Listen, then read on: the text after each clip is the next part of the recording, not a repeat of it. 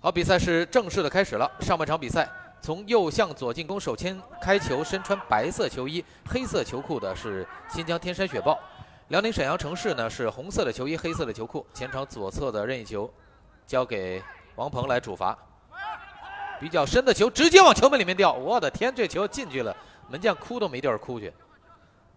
这球王鹏是故意掉的，还是说这球给深了呢？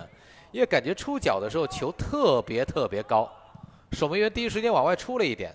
杨健，呃，可以踢中场的球员，他现在是球队的中后卫。看一下杨健这脚任意球是他还是朱世玉呢？右脚，哎，想法是不错，就是从人墙上面绕过去，但球过去之后呢，明显可以看到没有能够压下来，脚法的控制啊还没有去到极致。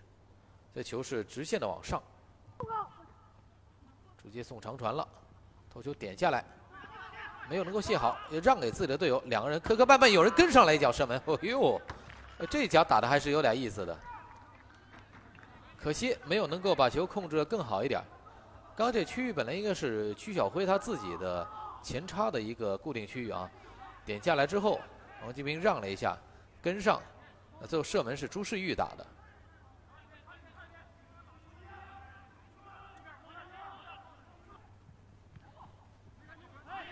中的争抢，这球半天没下来，终于，哎呦！我说终于，杜君鹏把球卸下来，卸完了之后领了一步，外围这脚低射，杜君鹏打的这质量还不错呢。啊这边朱世玉在说：“哎呀，这个球场的灯光太晃眼了。”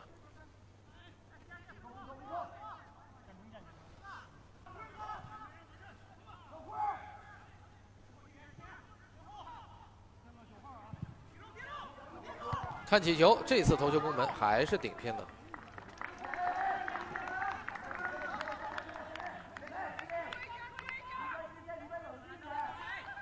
传中球这下就找到刘嘉欣。下半场比赛，于明放他上来，就是让他来当一个中锋来顶头球的。两人包夹，哎，门阳这个动作麻烦了。门阳这个动作麻烦了。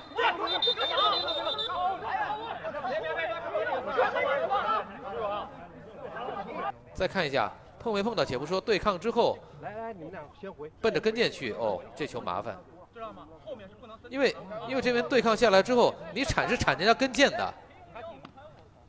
这前面还说到，你铲你要如果说是铲的是别人脚把人勾倒了，你说你铲的跟腱的，太没明白怎么回事了。马超给的吧那一脚，太让莫名其妙了。有禁区内磕一下，挡一下门阳。闪过防守圈，左脚射门，跟上有补射的机会，球进了。八十四分五十二秒的时间，从后场提到中前场的杨健，球队的场上队长完成了破门。杨健的进球带来一比零的领先。来看一下，边路宁浩的传球，拿这下没有问题。再注意一下，四号的郑一鸣和十四号的穆赫穆提之间。奈何穆提和郑一鸣之间留出了一个巨大的空间，给到门阳拿球。或许看了这场比赛，大概明白为什么在这个赛季，他们到目前为止在积分榜上情况是这样的。这时候主裁判是结束了全场比赛，最终结果呢是凭借着门阳的射门带来的队长杨健的补射，辽宁沈阳城市是一比零小胜了新疆天山雪豹。